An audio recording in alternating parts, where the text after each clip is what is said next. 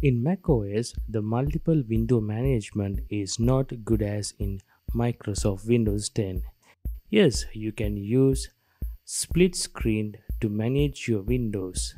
But if you have a large monitor, split screen is not an efficient way to manage your multiple windows and it's not an unnatural to click a button to snap your windows. Luckily, I have found a nice piece of free software that enables multiple window management by just dragging your windows around your screen.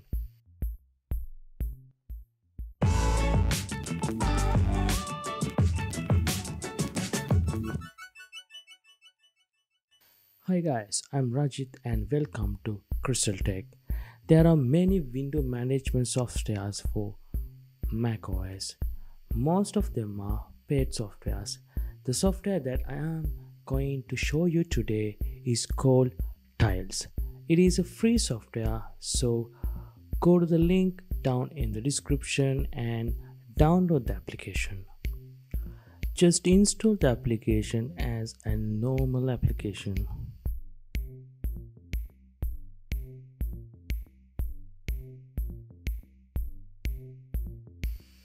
After that open the tiles and click open here.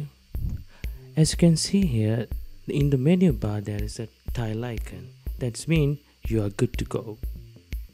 So now let's see how you can manage your windows. First of all let me open few windows.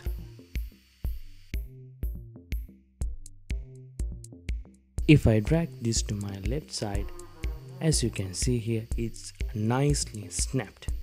This one too if I drag to my right side it also nicely snapped. This is so much natural.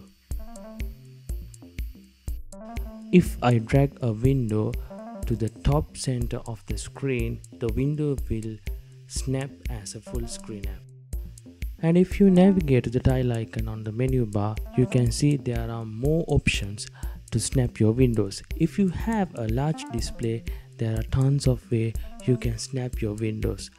So i hope this video will help you to manage your windows in macOS. So that's it for today. So guys please consider subscribe to my channel and i will see you guys in the next video. Thank you for watching